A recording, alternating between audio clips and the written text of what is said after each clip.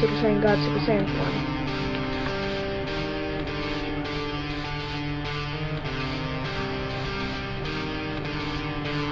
It was pretty hard. I managed to do it.